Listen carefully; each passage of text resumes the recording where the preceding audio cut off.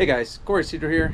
I don't know about you guys, but I got sick and tired of dog hair, uh, just carpet getting wet, nasty, dirty. It's a pain in the butt to clean. It's black, it shows everything. So I finally took the seats out, ripped all the carpet out, had it uh, Line-X, the interior of the Jeep Line-X, the local dealer here in Des Moines, Iowa.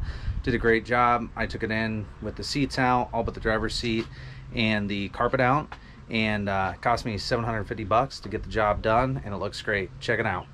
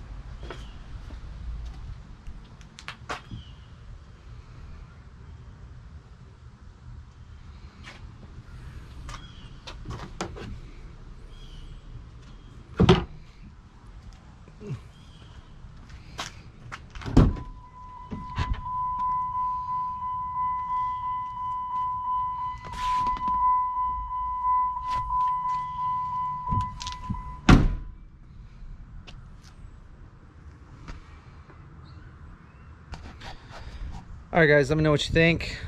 Got any questions? Leave comments below. I'll be more than happy to answer.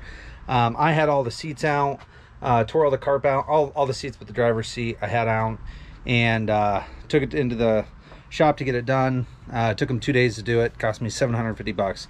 Let me know if you'd uh, like to see anything else.